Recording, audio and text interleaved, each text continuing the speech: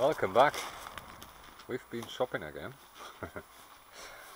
Just can't stop buying stuff at auctions. Um, we got a bunch of uh, welding rod ovens. Um, I actually wanted one lot, but uh, it happened that I got three lots. I Don't know. I just I was just bidding on all of them, and apparently no one else was bidding on them. Uh, but the more interesting thing that's a record pipe vise, so wood stand. It was very cheap. I don't know why. Some it was only one other bidder and he gave up at some point, so I had to have it. And the rest of the rubble, what you can see here, is actually a massive space heater. Uh, look at that. It's a huge space heater. I had to take it apart, otherwise um, I couldn't get it into the car. Um, it was spares or repair. That means it's not working. The burner is completely dismantled. I have no idea why. Some someone tried to fix it and probably didn't know what he was doing. It's just an oil burner, but uh, it's got a lot of power. So we either keep it or flog it. I don't know right now. Yeah, it came with a full tank of diesel as well, so that gives me 10 pounds back easily just on diesel. Yeah, so the, the burner is just dismantled. It looks like all the bits are here. Motor is turning, so we'll take it out and have a look what's wrong with the burner. Can't be too much. It's was leaking a little bit. It was stinking like hell. Uh, but yeah, that's it. Uh, there's nothing more on that. Right, let's unload and see what that heater does. So here we got the bottom out. It's at least half full with red diesel, which we're gonna pump out and use for the forklift. Uh, because we got heating oil kerosene here. Alright, so we set it up for kerosene. Uh, you just need to adjust the pressure a little bit or the air because the calorific value of uh, kerosene is a bit lower. So you need a little bit more fluid going through or less air. Otherwise you're running too lean. Okay, uh, let's get the big thing out. So here we have it in its full glory. Uh, apparently there's nothing fundamentally wrong with the burner. It, motor runs, ignition ignites. If I turn the switch on.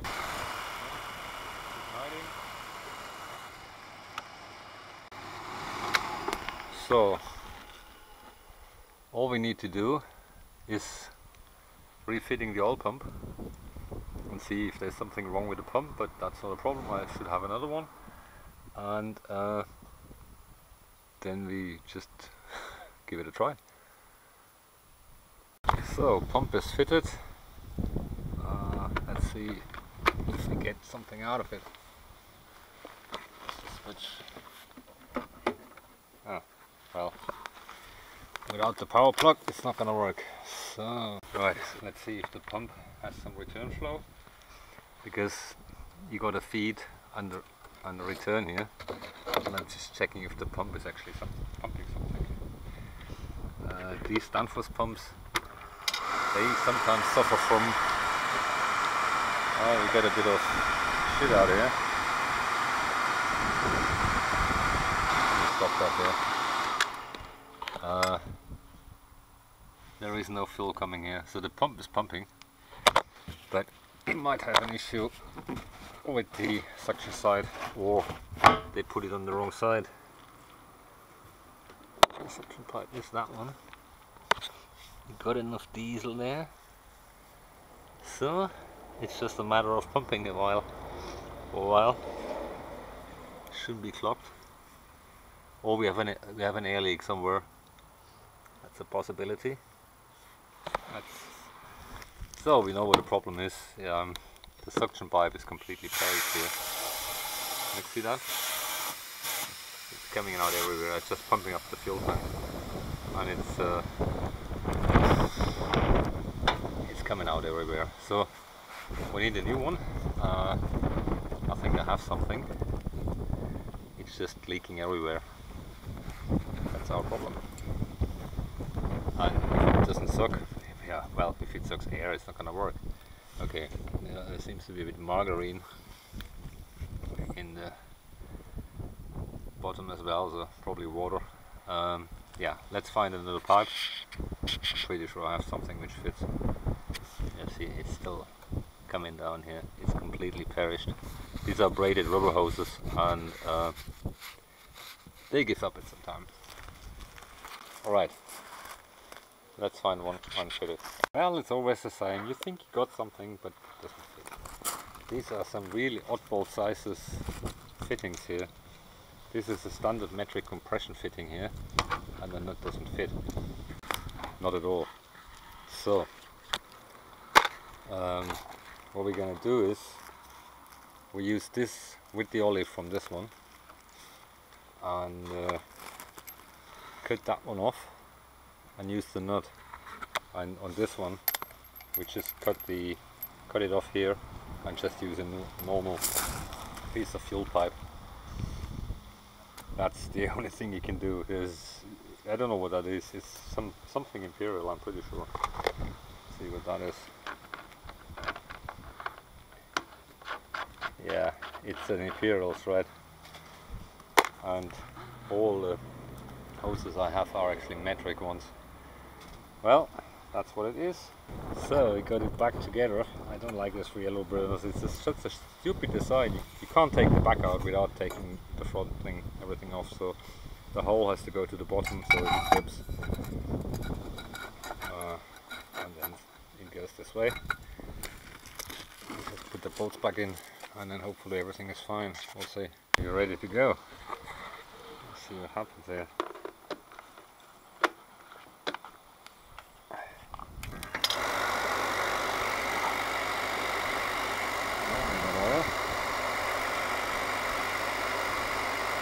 Quick. Preheat time is very long. Come on it's not burning. Its solenoid doesn't work. Okay, so the pump is pumping, but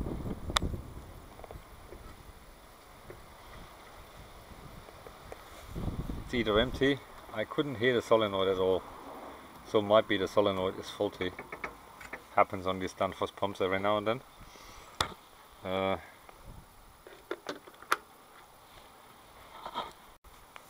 I'll give it one more try. Maybe it was just empty lines, but I didn't hear the click of the solenoid.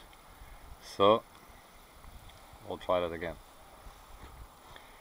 Only takes a minute to get the fault here. Oh, the coil mesh is actually fine. Just put a meter on the output here to see if there is anything happening. And get 60 volts.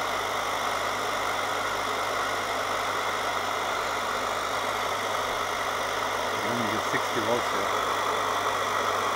60 volt AC. That's not enough. Yeah. So we have some electrical gremlin here. Um,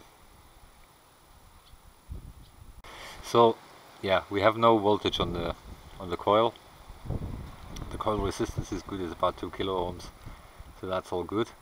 So for whatever reason we don't get a uh, clearance for the solenoid which goes down here. Well the wiring seems to be correct. This is the solenoid here.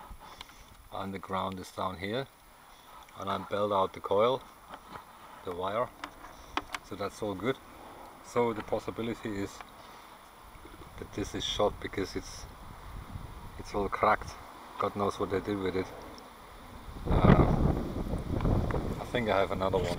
I'll find one. Well, as always, I got a bunch of Landis+Gyr, but no Satronic. So we'll have a look inside, see what wrong, what's wrong with it. Maybe we can find something. I think this has been badly treated here. Uh, let's have a quick look into it. Maybe we can fix it at least for now. Uh, we're gonna put a proper one on as soon as I can find one. Well, we checked the contacts and everything looks good, but uh, still getting 60 volts on the coil is 230 volt coil. So something is wrong in that uh, controller here. Um, it's just a bunch of relays, but there might be something. It's it looks a bit well, let's say misused. Um, there's a bunch of relay contacts down there, and yeah, if the relay doesn't pull fully, it may cause an issue eventually. The sequence is normally turn the motor on, turn ignition on, and then after a certain time the the coil comes in, but it doesn't. So I, I guess this uh, thing is just faulty. Alright, we need to find one and then we'll come back. It looks like the timer function doesn't work. Uh, so we turn it on, wait a little bit, and then we'll give it a tap and the oil comes, but it doesn't it doesn't ignite so something isn't right on that uh, we got oil spray, we got everything. So the pump is working uh, the motor is working, ignition is working but something is wrong with the relay. Uh, I don't know exactly what but it comes on quite uh, only half or so. Something isn't quite right. There might be some I got a feeling it was open before so we need another one. That's all we can do. Yeah we got plenty of oil spray and everything seems to be fine. Ah groupie is coming. Coffee time. We'll come back later. Okay after a bit of searching we found one. This is uh, 832.3 which has a different socket wiring. So I had to rewire the socket. Um, the problem is that the ground is actually I had to take all the ground wires off because the neutral is actually connected directly to the socket. So if you use an 832.3 instead of a 974 you need a different base because the base the ground the neutral on the base is directly wired to the terminal here. So hopefully that works. I just do use the terminal block down there to get the neutrals off that one and, stick that one on and uh, pray. We'll see. So now comes the moment of truth. Let's just plug it in and go. The problem is that they put the magnet wire directly to the motor, which is no good. Okay, we're running out of fuel now. Okay, so that's what they did. Uh, I need to change that wiring because there is a link from the motor directly to the magnet or the, the solenoid valve, which is bad, but that's how it was wired and I don't know why. So uh, let's change that and then we'll find out what's going on here. Well, we finally got it working. Uh, it was definitely the control unit I said before I had to rewire it. Uh, but it's burning okay. I think I reduced the oil pressure a little bit just to make sure it's not smoking. So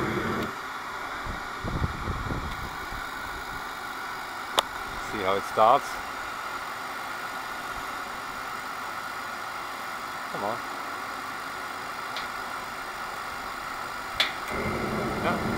Comes nicely.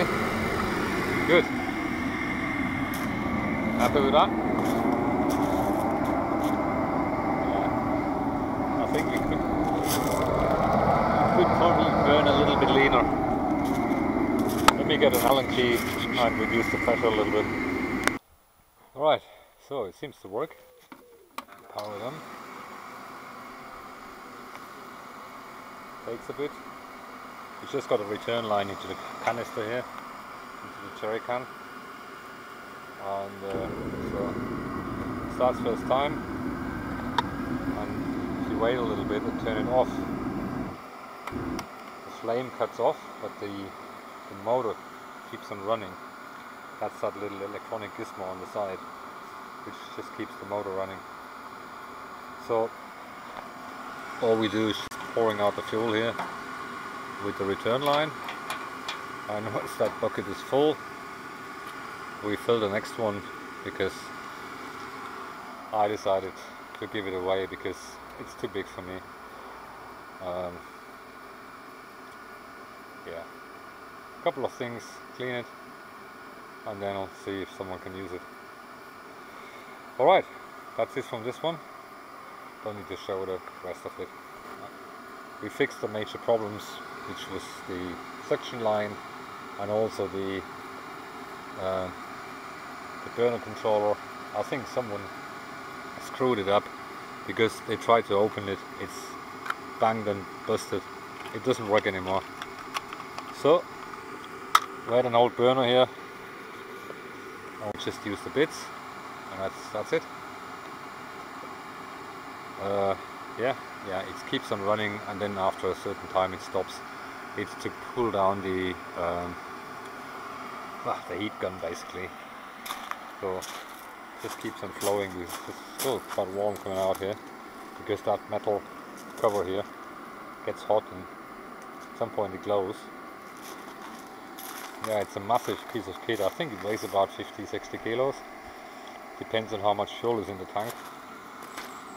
And uh, yeah, it stops after a while when it thinks everything is cold. And that's it. Alright, that's it from this one. No need for showing the rest of it. Just cleaning, tidying up stuff. And uh, yeah, good to go. Thanks for watching. Thanks for subscribing. Until next time.